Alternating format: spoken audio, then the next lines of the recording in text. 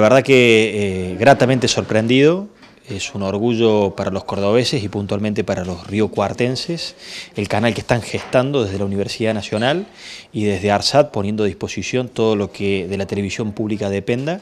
para que los riocuartenses tengan otra oferta eh, televisiva eh, de contenidos propios, locales y fundamentalmente con una inclinación pedagógica y de información objetiva y genuina que me parece que contribuye a la democracia, a la construcción de ciudadanía y a la localidad fundamentalmente. Nosotros estamos eh, ratificando muchos de los rumbos que anteriormente tuviera la empresa, muchos otros cambiándolo, seguramente siendo mucho más rigurosos en el uso de los fondos,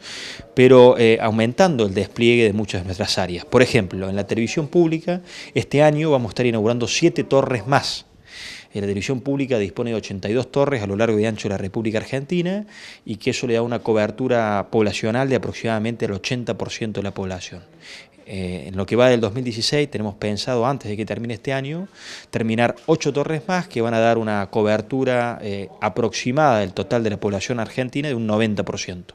Además vamos a lanzar un ambicioso plan de accesibilidad a los contenidos de la televisión pública a las personas con discapacidad, para que aparezca en todo su esplendor y en todo su sentido eh, la perspectiva de lo público en la televisión esta que pagamos todos los argentinos y que todos los argentinos han parte de sus recursos en que esto pueda ser posible. Nos parece para que eso se luzca en todo su esplendor.